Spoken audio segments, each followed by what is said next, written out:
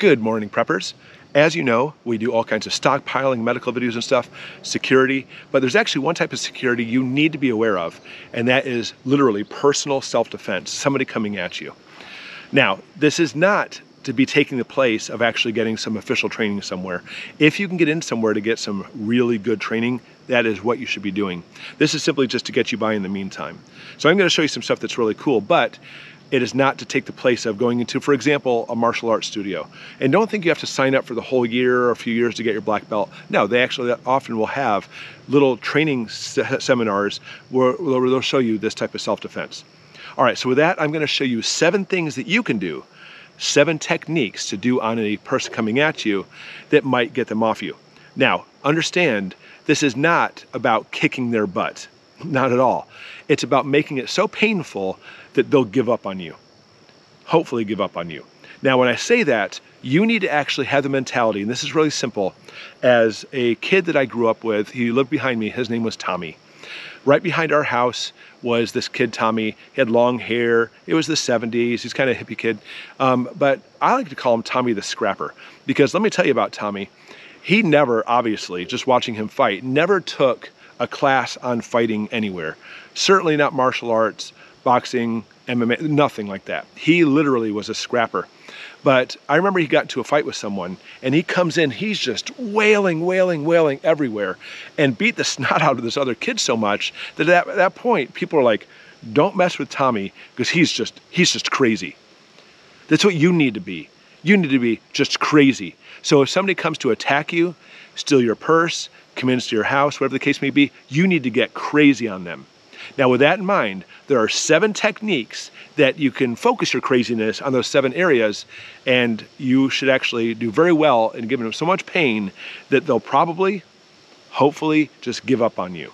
So let's see if this helps you out. All right, so with that, I bring my friend Sam in and here comes Sam.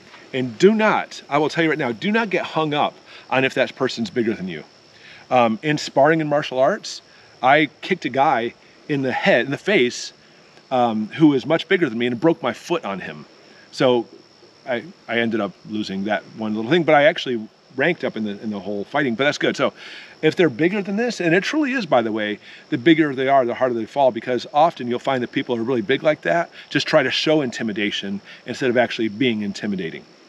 Not always. Okay, so the first thing is this, punching. And when you punch someone, you'll see this in the movies, and hopefully you, you've already caught on to this, but when you punch someone, a lot of times you'll see it in the movies, they punch like this. Ugh. And they'll basically come over and they'll punch where they're actually not even making contact. Watch, I go real fast. And obviously it does nothing to Sam. That's how they do it in the movies. If you're gonna punch someone, you need to picture behind Sam a little bit, and I'm not gonna punch Sam obviously, but you need to move in and punch him so when your arm is completely outstretched, if it does get outstretched, it's like partially behind him. You're not gonna get any power by going like this to him. That's how that's not how you fight, okay?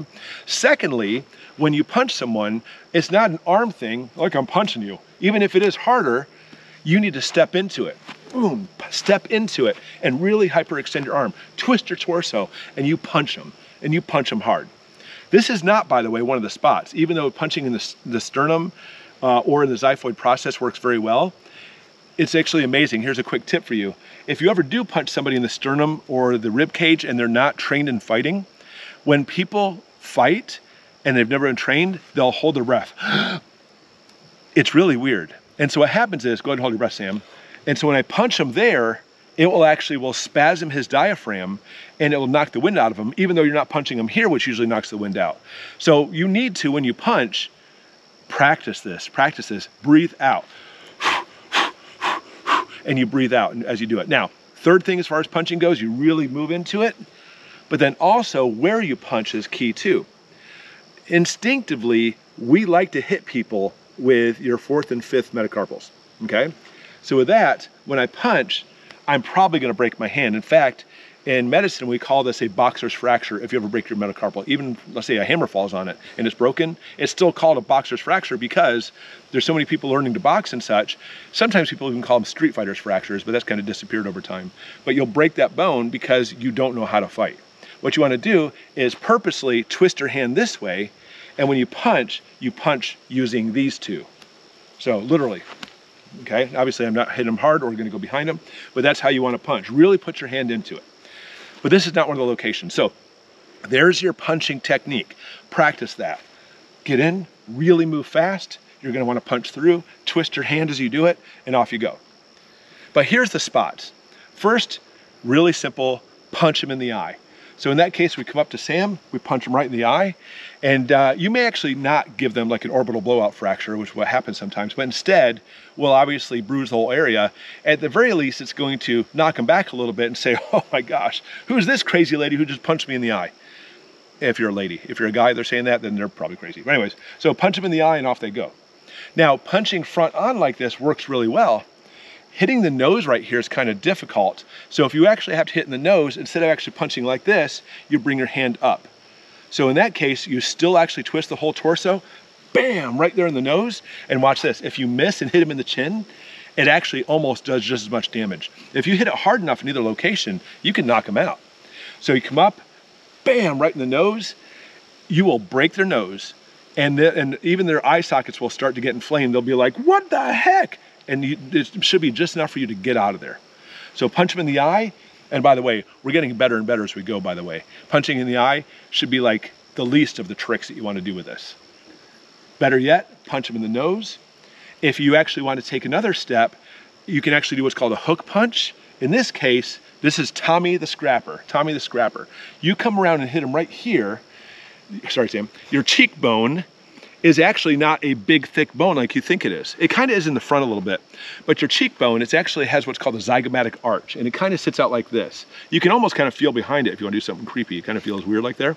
But if you actually come around, hitting them in the front doesn't work so well, but if you come up to the side with a hook punch and hit that, it'll snap like a twig. It breaks so easily, the zygomatic arch. Impress your doctor.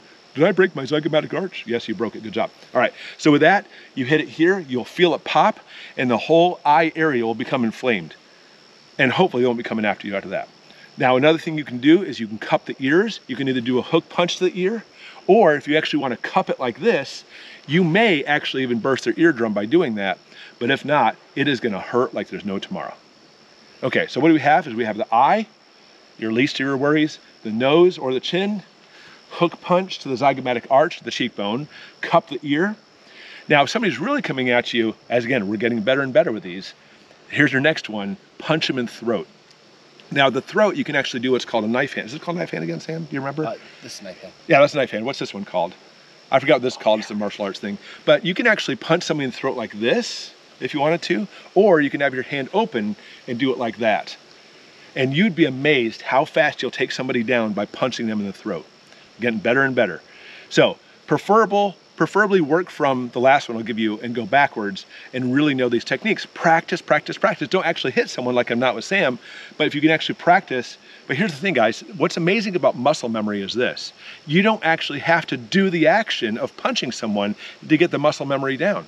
So if you have somebody there, or maybe you have a mannequin, or maybe you have one of those little punching bob things we used to have, basically just practice and do it slow. Twist your wrist, do it slow. Keep doing it over and over again, and you keep doing that, and over time, your muscles will actually come into play, and you'll be able to, be able to do it very quickly and take them out. So, number five, the throat. Right here, that's a great way to do it. Okay, after that, we also have the private area. Now, there's all kinds of things you can do for that, but obviously, if the person's close, go ahead and put your hands on me like you're grabbing me. Oh, you bully, stop. And you basically, you can come up, this is not part of it. You can put your hands out, knee them right there. Or put your hand down there and squeeze like there's no tomorrow. And that person will be in your hands, literally going, oh! Now understand that if the person is probably trained and you grab a hold and you squeeze really hard, their reaction is going to be to clock you and punch you. So be ready for that kind of thing. Don't think they're going to stand there and say, okay, I give up. You need to be Tommy the Scrapper. You need to grab it, punch them, punch them, hit them, keep going until they basically they're the ones that's going to want to want to run away. Because the studies show that the more you fight the more you fight the better chances you have of getting away from that person.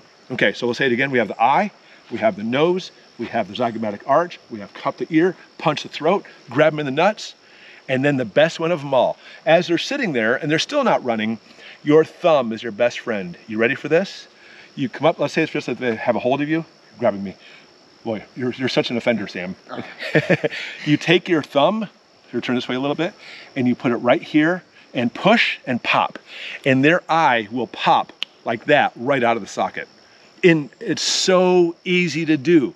And the scary part is once it pops out, it rips the soft tissue, the eye's still working. So once it's hanging, looking down, they see you with one eye, and the other eye, they see the ground. They're probably like, oh, what's going on? And basically, that, again, saving the best for last, if they come at you, personally, I would actually come up, punch them in the throat, cup the ear, and then out comes the eye. And they're pretty much gonna leave you alone. Now, people, some people have really good grips, and you got to watch out for that because they try to grab onto you, especially your arms. That's where your legs come in, get them in the nuts real quick. Then you can actually go through those vulnerable spots on the face. So one down below, six vulnerable areas up in the up in the face. Practice or practice. Well, don't practice sticking your thumbs in people's eyes. They don't like that for some reason. But you can pop the eye right out. Now, granted, they can get it surgically put back in again. And let's say crap hasn't hasn't hit the fan, you can just simply tell the ER, tell the cops, they'll say, hey, if anybody comes in with their eye hanging out, we know that's your perpetrator. Okay, that kind of thing. So there you go. So start off with the harder ones better, pop the eye out, grab them, punch in the throat or punch in the throat, cup the ears, the nose, zygomatic arch with a hook punch and punch them in the eye.